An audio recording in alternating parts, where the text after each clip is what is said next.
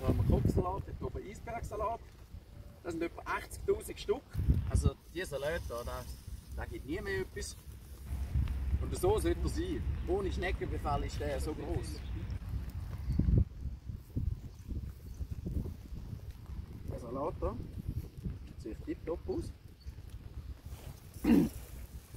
tiptop nicht, da, da wo man sicher da die Pünktchen, das ist ein bisschen Schaden vom, äh, vom Regen, starken Regen und ein bisschen Hegel haben wir hier beim erntereifen Salat. Das ist jetzt aber nicht weiter tragisch. Aber so einen Salat würde glaube jeder kaufen von uns. Und jetzt ist eben das Problem.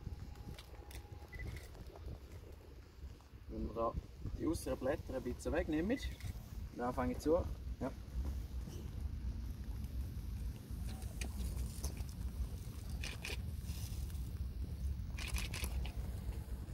Ernten sieht man auch nicht.